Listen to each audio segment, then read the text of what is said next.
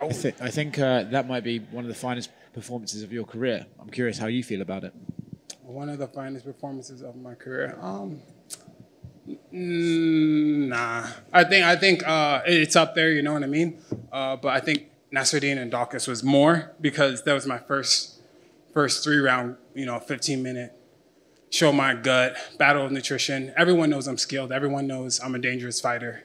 So uh, this is definitely a feather in my cap because Deron Winn's no t- no like walk in the park is a tough cookie, but everyone in the UFC is a fucking you know something stellar. So you mentioned he's a tough cookie. Um, are you surprised just how tough he was? He took some serious shots in there. Yeah, uh, extremely. Because I knew he was tough. I knew he was durable, but I didn't know he was that durable. You know what I mean? And I think uh, my last contest got me ready for that. Ready for that durability because I'm used to hitting people, boom, they fall, or hitting people and they show it, and then they, you know what I mean? Then I could get him out of there. But he didn't want to leave, and uh, uh, hope he's okay. I hope everything's all right with him.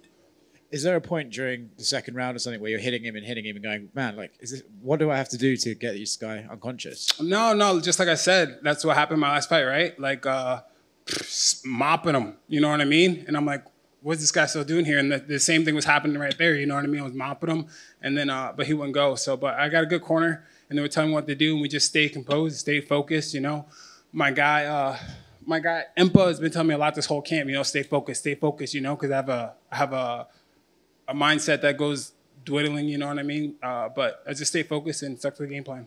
Uh, crazy elbows as well tonight, man. Like, was that something you worked on in camp? Did you yeah. know that, that was going to be for this fight? Yeah, yeah. Because I, I, knew he was a wrestler, and we're both wrestlers, so I figured we are going to be in a lot in the clinch. And my uh, uh, striking coach, uh, one of my striking coaches, uh, Dorian Price, helped me a lot with my elbow game and my my knee game, which you guys saw on display today. Uh, it didn't matter in the end, but it doesn't surprise you that only one judge gave you a 10-8 in the first round. Only one judge gave me 10-8 in the first round. Uh, no, it doesn't surprise me. I mean, I really don't worry about like the judges' scorecards. Really, you see how I fight. Like I'm always looking for the finish. So uh, 10-8, 10-9, whatever you score, it, whatever. Um, uh, right before you walked in, I was just watching a little bit of beef with DC after the fight. What happened there? Yeah, it was just a misunderstanding on my on my behalf. You know, because DC is such a role model to me. You know what I mean? Two weight world champion, you know, and just a, just a freaking stellar dude. So there's a little miscommunication and wrong place, wrong time. I apologize, DC. Don't don't beat me up. yeah, it was what looked like one of those things where you'd realize you'd got heated up, and then as he was like shouting back, you're like, "Oh, I'm sorry." uh, oh, sorry, DC. Yeah, yeah, yeah. For sure. Great performance, man. Thank you, brother. Hey, Megatron, great performance hey, tonight. Hey, no hype. No hype. N- no hype. Is that here to stay? That's here to stay. No hype. Long term. Forever for the beating you were putting on him, do you think it was more the responsibility of his corner or the referee to end this fight?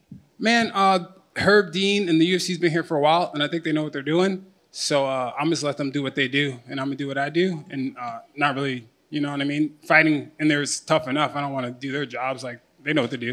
I don't know calling to get on the London card July 23rd. Do you have an opponent in mind? Uh, man, I would love to be a stand-in for the Till Hermansson. You know what I mean? They're, they're tough guys, you know. So let, let's get it cracking. Let's get it popping.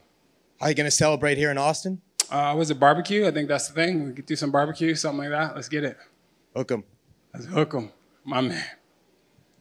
Hey Phil, can you tell me a little bit about walking out to the Rock's theme? Hey, that's my dog. You like that, huh? The dude, the people loved it, huh? Yeah, they love that. Uh, man, I just feel like the Rock's an icon. You know, I'm a huge fan. I knew the people will love it, uh, and I'm gonna stick with it. You know what I mean? Because as a kid growing up, fucking, do you if you smell what the Rock is cooking? Come on, it's iconic, bro. You can't beat that. Yeah. Absolutely. Now, when a fight is going like that, and you're pretty much landing anything at will like is it kind of going through your mind that like you can start pulling things that you've been trying in the gym that you haven't gotten to try out in a fight? Uh, yeah, exactly, exactly. So when uh, when you start feel it starting to slip away, it's like okay, now let me get loose. You know what I mean? Let me start getting funky, and and and I have a good cornerman. They were helping me, telling me what to do, what to do next. You know what I mean? So I'm not in there by myself. It looks like it, but I have a good squad behind me, and they help me a lot like sometimes we also see like when you know you're landing things at will, but you're not getting them out of there. Sometimes we see guys just go ahead and try to get the takedown. Did that ever cross your mind of like maybe I should just go and bring him down or just keep picking him apart? yeah, yeah. I was like, all right, you know, this is this is cool, but like uh, let me mix in some MMA in there, get a little takedown, try to get him out of there. You know what I mean? So just trying to trying to give him something else to that he has to worry about. Yeah.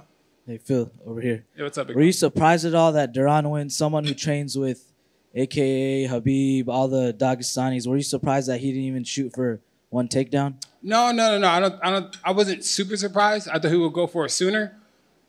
He didn't shoot a takedown at all. Nothing. No. Really?